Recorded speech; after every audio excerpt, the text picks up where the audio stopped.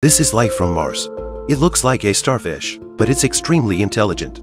It can easily break machine parts, and then use the tip to pierce a rubber glove, and escape the incubator with ease.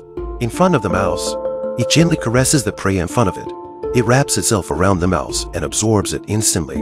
This is Darwin, the Martian creature. Just as Ryan opened the door to rescue the team, Darwin had already spotted him. As Ryan was about to flee, Darwin wrapped his arms around Ryan's leg. For safety reasons, the captain closed the quarantine gate. The only way for Ryan to survive was to kill Darwin. He pressed it directly into Darwin's body. Darwin feels the pain and abandons the tangle. Then Ryan took out the flamethrower, aimed it at Darwin and flicked the switch. He thought the flame would kill the carbon-based creature, but it didn't work until the fuel ran out. Instead, Darwin was unharmed. In the end, Darwin moved quickly and drilled right into Ryan. Ryan died instantly. Then the flamethrower triggered a fire alarm, leaving a hole in the sealed isolation chamber. Darwin used it to escape. They wrapped Ryan's body up. Now they have to find a way to kill Darwin while trying to get help from ground control. There was an accidental loss of communication.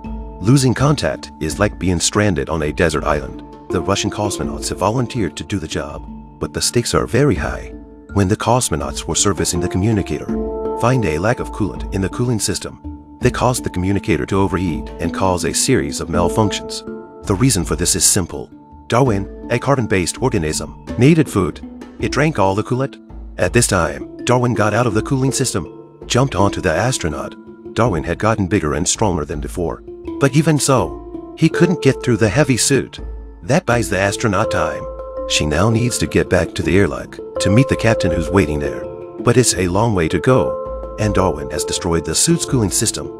At some point, a large amount of liquid appears in the astronaut's helmet. The fluid buildup is blocking the view. The astronauts had to make a bold decision.